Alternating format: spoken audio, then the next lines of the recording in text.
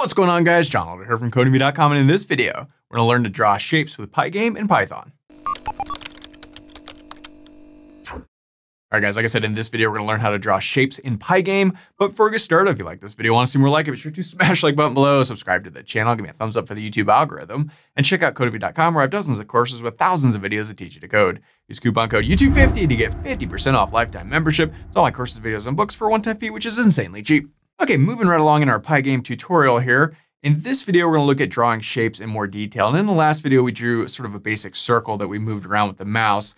But in this video, I wanna expand that, tell you more about drawing circles as well as drawing lines and rectangles because it's super important, especially rectangles. When you have like images, a lot of times you'll put them in a rectangle so that you can tell, you know, if something hits them or all kinds of stuff. So rectangles are pretty important, but all shapes are important and we're to dive into it in this video. So let's head over to our code. I'm using the Sublime Text Editor in the Git Bash terminal as always. And as always, you can find a link to the code in the pinned comment section below, as well as a link to the playlist with all the other videos in this Pygame series. So check it out if you haven't so far. All right, so I've got a file called shapes.py, and it's the same starter code we've been using in the last couple of videos.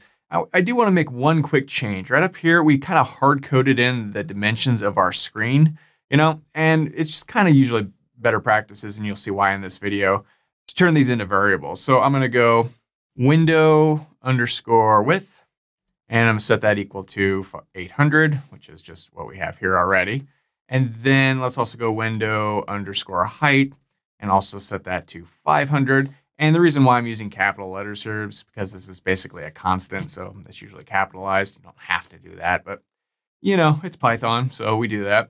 And then I'm just going to replace these window width and window height. And there we go. So let's come down here. Let's understand coordinates real quick. Coordinates, coordinates. There a dash in there? I don't know. So in Pygame, you know, you think of x, y coordinates on a graph, and you may understand that if you've taken any math classes.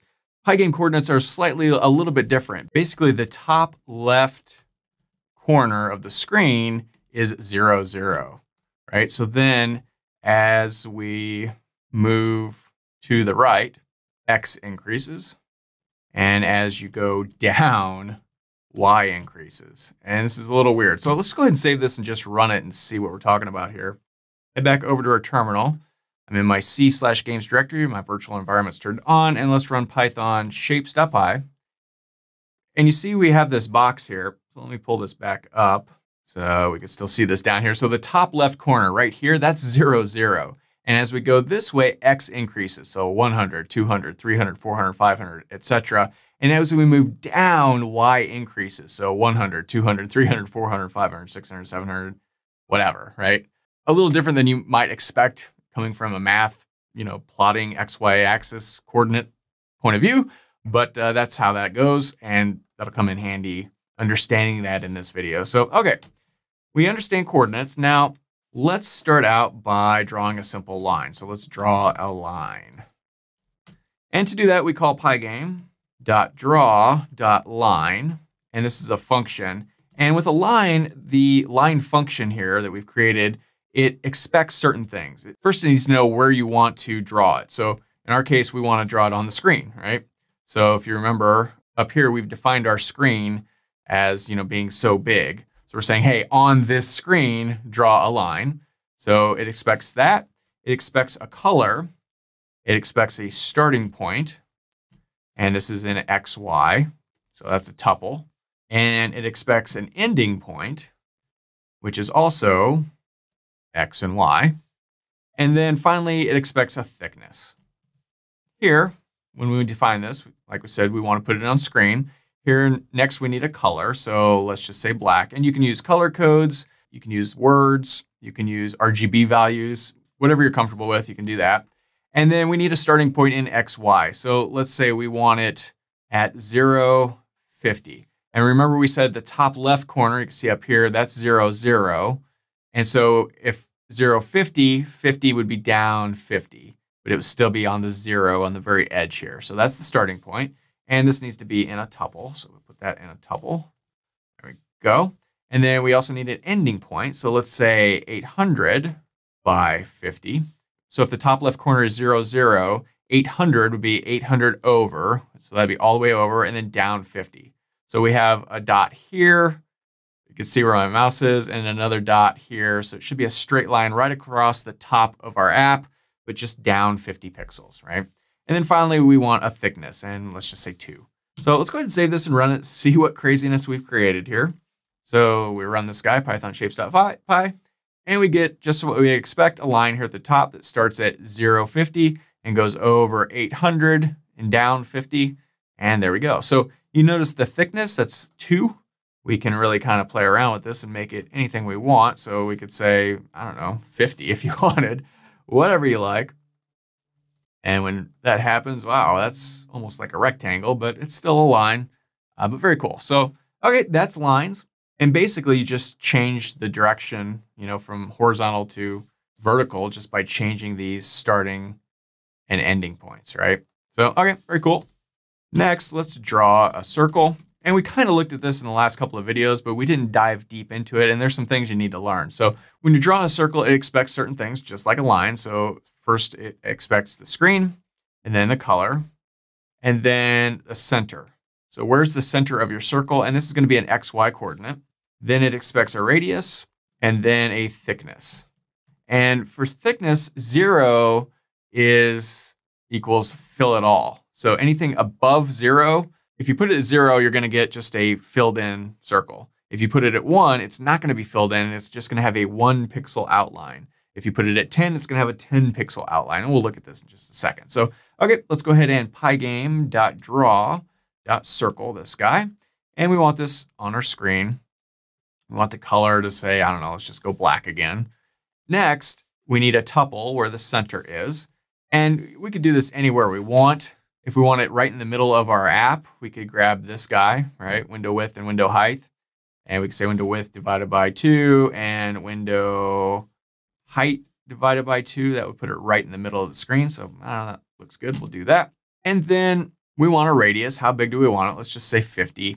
And then finally a thickness. If we put it at zero, it's just going to be filled in. If we put it at something else, it will be something else. And we'll look at both of these here in just a second. So let's go ahead and save this, head back over to our terminal and run this guy. And you see what we'd expect right in the center, a filled in black circle that's yay big. And like I said, we can play around with this. So if we want this to be 100, it'll be bigger. If we put it at 1, it won't be filled in anymore. It'll have a 1 pixel border, right? So you can see very skinny, not filled in, but kind of cool. And again, we could play around with this any different way you want. If we put 5 here, save this and run it. Now we're going to have a thicker circle. Very cool.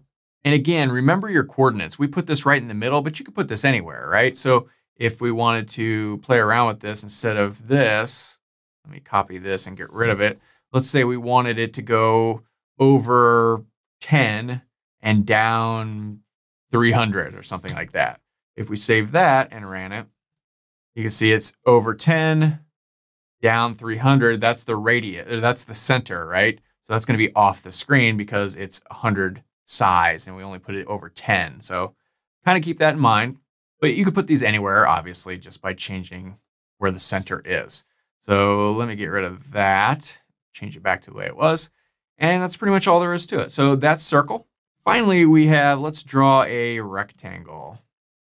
And rectangle, square, same thing. A square has the same sides. A rectangle is the same thing. It's just the sides are different, right? Here, a rectangle is going to expect certain things. Again, screen and color. And then this is a little weird. It expects a top left X and a top left Y, and then width and height. And these are all in a tuple. So four things here. Top left X and top left Y is basically a point, a single point where, where you start. It's basically the top left corner. Let's just build one of these real quick and see. So let's go pygame dot draw dot rect. And we call these rect they're rectangles, but the slang is to call them rect, and the function itself is in fact called rect. So we want to put it on the screen, and let's make this, I don't know, let's get crazy. Let's go red, right? And now this is a tuple. And what do we want? Well, let's say we want down 100 over 400, and then we want a width of 100 and a height of 50. So it'll be 100 width and 50 height. So that'll be like, you know, a nice little rectangle. So, all right, let's go ahead and save this and take a look and see what we have here. Let me clear the screen. There we go. And when we do, we see over, what did we say, over 100 down 400. So it's down here, 100 by 25. We could turn this into a square, like I said, just by calling, say, 100 by 100. Same deal. Run this. Now we have a square. And notice we're starting to hit the boundaries of our app just because of where the XY coordinate we started this thing at, right? So if we wanted to kind of fix that a little bit, we could say, oh, well, let's have it down 200 instead of 400, because after all, our app is only 500, right? So, all right, let's go ahead and save that and run it. And now it's right there. So very cool, very easy to make shapes. Really, the hardest part is wrapping your head around the coordinate system. Remember, top left is zero, zero. Just keep that in mind. Top left, zero, zero. X is over this way. So 100, 200, 300, 400, 500, 600, 700, 800 is the edge of it because our app is 800 pixels in width. And then Y is starting at zero at the top, increasing as we go down. So 100, 200, 300, 400, 500 down here because the width of our app is only 500. So I, I, know it's just really not intuitive to think it starts up here at zero, zero. You know, normally graphs start down here at zero, zero, and they go out like this when you're dealing with math. But with Pygame, for whatever reason, this starts at zero, zero.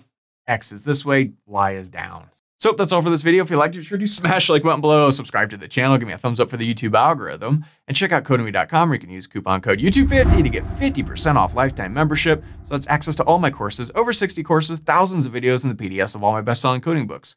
Showing over 180,000 students learning to code just like you. My name is John Elder from Codemy.com, and I'll see you in the next video.